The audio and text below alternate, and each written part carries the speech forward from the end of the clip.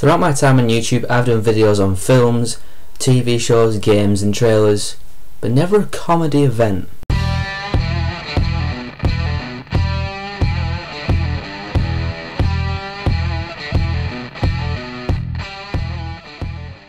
So last Saturday on October 11th I went to watch Lee Evans' Monsters at the Phones 4u Arena in Manchester and I know you're probably thinking, wait, last week, why are you only doing a video on it now? I didn't know if I wanted to do a video on it, so since I haven't done a video on, on anything in a while, I thought I might as well do a video on this because it's something worth talking about, especially for UK viewers. I mean, if you're watching this anywhere outside the UK, you won't know who Lee Evans is or ever even heard of him whatsoever. So anyway, Lee Evans, I just want to give you a background. I love Lee Evans. He's one of my, probably my favourite comedian out of all the UK comedians. I just love his brand of humour, his physical humour, and he's also funny because everything he says is actually true. Like he he makes fun of modern life and how people react to things.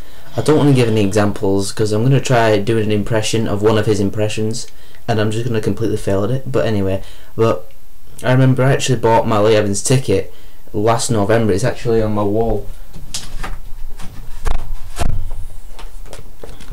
There it is, right there. That's my Lee Evans ticket. I, bought that last November, and that's how much I wanted to see it because Lee Evans is just my favourite comedian, and my favourite DVD slash tour of his is going to be the XL tour that he did in 2005. Um, I just think that's so funny because all the voices, all the movements and things he does was awesome. So anyway, enough of his past stuff. Let's talk about Monsters, his new tour. Now, I just want to clarify, I had a perfect view of him. I was sat really really close to the stage. I was, I was about 20 to 30 feet away from the stage. Um, and I had the perfect view of, of him. He was on the stage, he was like well I, I was going to say he was that big but you can't really tell because you're not here with me. But it was perfect view of him on the stage. And he was running about, he was sweating his head off, he was telling jokes. And he was funny, he was really really funny. Um, I will, I will, I want to lie. It wasn't his funniest tour, but it was still really funny. But the one thing that really did this for me was just the experience, just the going to see him, and because I've, I'd never seen him live before, and I remember the moment I walked into the arena, like the main arena place, and I looked down and I saw the stage set up, and I was just I was just like, is this is this actually happening? Because I, I know you're probably thinking, you know, you're being I'm being all sobby over something that's not even that big but it's big for me and I couldn't believe I was actually there watching my favourite comedian on the stage running around sweating his head off and just being a hilarious dude because that's what he's best for.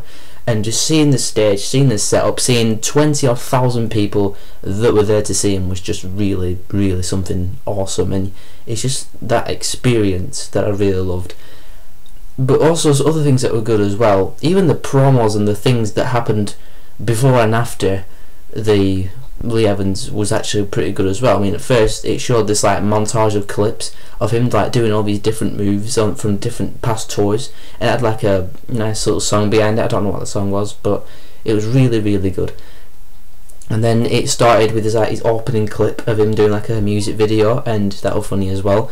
And at the end, obviously, he always does his song, and I haven't really been that keen on his songs, but I like the one he did at the end. He's he was um, playing a piano, the like something from Tron, and it was spinning around. He was singing about his wife and stuff, and then he did um he did like this kind of act out action thing to the song Bohemian Rhapsody by Queen. Or Mama, ooh, that song. It was really good, very loud. Yeah, my my hearing was a bit afterwards, but it was extremely awesome.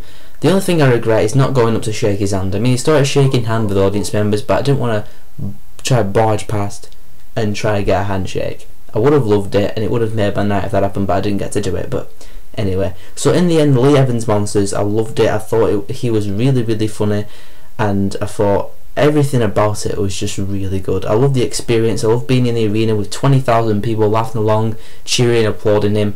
I loved every second of it. And since I don't, this is the first time I've ever reviewed a comedy event, I'm just going to use my normal review rating system. So therefore, I'm going to give Lee Evans Monsters a 9. So for my UK viewers, I want to know, are you a fan of Lee Evans? Do you like his stuff? And I want to know for you, what has been your favourite tour of his? Uh, there's been Wired and Wonderful, XL, Big, Roadrunner, and if you've seen it, Monsters. Which is your favourite? Put them in the comments below and see more videos from me. Click right here.